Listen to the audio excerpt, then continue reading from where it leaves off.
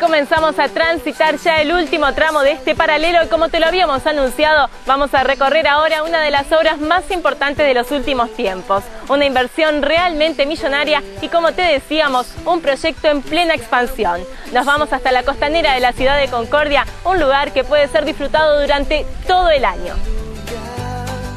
Entre la luna, el sol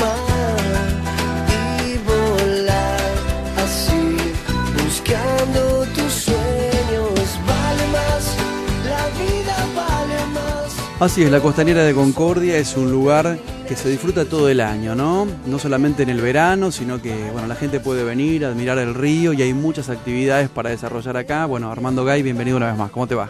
Bienvenido a ustedes también a, a las costaneras y bueno, espero poder contar durante todo el año con ustedes que nos dan la posibilidad de comunicarnos con la gente a través del programa de ustedes, ¿no? Es una manera de recuperar el río, ¿no? Lo decíamos la vez anterior, es como una jugada política muy importante que haya un ente específico para cuidar, para promocionar este lugar. Es como que la ciudad se dio vuelta y volvió a recuperar el curso de agua más importante de la zona. Bueno, esa fue una de las ideas principales de la gestión del intendente Bordet. Eh, tuvo la posibilidad de poder hacerlo y bueno, después nos dio la confianza para poder llevar a cabo esto y en eso estamos, tratando de cumplirle con lo que nos ha pedido y bueno, tratando de mejorar una obra ansiada por la ciudad de Concordia y que hoy por hoy la tenemos y estamos tratando de sacarle eh, y optimizarla lo más posible. ¿no? Armando, decíamos que hay muchos servicios que se están instalando aquí. Bueno, uno es eh, el sistema de Wi-Fi, que ya lo habíamos comentado, pero bueno, hay mucha gente que todavía no sabe que tenemos esta posibilidad. No es un dato menor. Nosotros que hemos recorrido la costa promocionando en el verano eh, el diario digital y nuestro programa de televisión, teníamos ese inconveniente. Ciudades que son turísticas por excelencia a nivel nacional no tienen sistema de Wi-Fi para, para el turista, para la gente que llega. Aquí en Concordia y en otras ciudades de la provincia también estamos empezando a tener este tipo de espacios, que es importantísimo para la gente porque hoy la, la comunicación es todo, ¿no? Exacto, yo creo que fue un gran avance poder eh, plasmar una idea que teníamos con el intendente y que a través de un convenio con la cooperativa eléctrica, la intendencia de la ciudad y el ente costanera pudimos este, cubrir casi un 90%, estamos en un 85% de la totalidad del, de la zona donde tenemos este, jurisdicción. Y bueno, están quedando una puntita allá en el lavadero de Jaulas y ahora estamos tratando de poner una antena más en la zona nueva que es la zona de Paseo Mansore que nos entregaron hace poco y bueno, estamos poniéndola a punto también. ¿Cómo tiene que hacer la gente? ¿Viene con su netbook, se conecta directamente, accede a través de la página de la costanera, quizás como para, para darle un poco de marco a la cuestión, ¿no? Exactamente, se conecta y accede directamente a la página de la costanera, si quiere mirar, mire, y si no, automáticamente sale y se conecta con, con la página que quiera, ¿no? Armando, decíamos actividades culturales y bueno, mucha movida todo el año. Por suerte tenemos un verano muy largo, ya se terminó, pero bueno, la temperatura nos sigue acompañando para seguir haciendo cosas. Es un desfile importantísimo, la verdad, algo muy cuidado que le hizo bien a la ciudad, ¿no? La ciudad tenía ganas de vivir un evento de esas, de esas características. Bueno, fue una idea de varios de los compañeros que están trabajando conmigo. Era algo así como cerrar la temporada con algo distinto. La verdad que se llevó a cabo un evento muy cuidado, como vos lo decís, y la gente misma apoyó, se dio el tiempo maravilloso, el fin de semana largo, y bueno, salió un festival muy muy lindo con un cierre de fuego artificial y, y un conjunto musical que actuó también acorde con lo que se había hecho.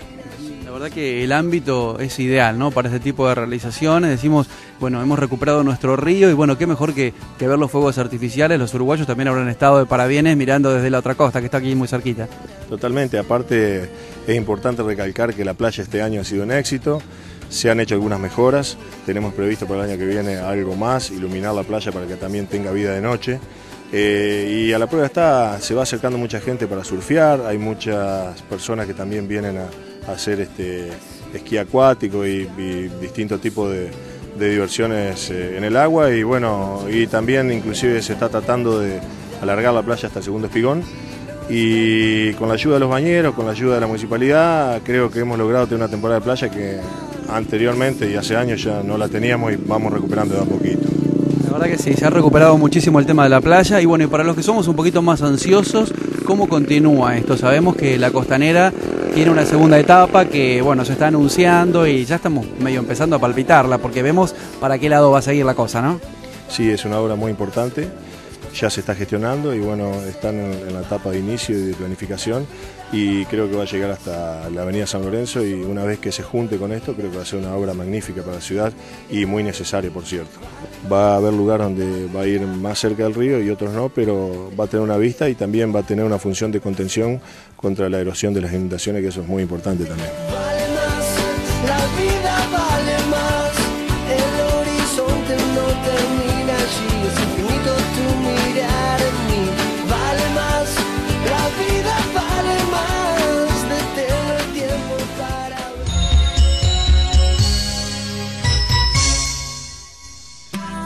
Y llegamos al final de este paralelo turístico del día de hoy. Queremos saludar como siempre a todos los amigos que nos reciben a lo largo y ancho de esta hermosa provincia de Entre Ríos, desde las provincias limítrofes, desde la vecina República Oriental del Uruguay y aquellos que lo hacen desde otras latitudes ingresando a nuestro diario digital www.paraleloturístico.com.ar. Como todas las semanas nos acompaña Mónica Cita con esta ropa tan linda. Te recomendamos que pases por su local en calle Las Heras 160 bis. Además aprovechamos para saludarla porque estuvo de cumpleaños, así que un beso muy grande. También agradecemos a Patricia Lojegaray que cuida mi cabello todas las semanas. Te invitamos a pasar por su salón en calle Sarmiento 1035 donde todo un equipo de profesionales te está esperando para dejar tu cabello cada día más lindo.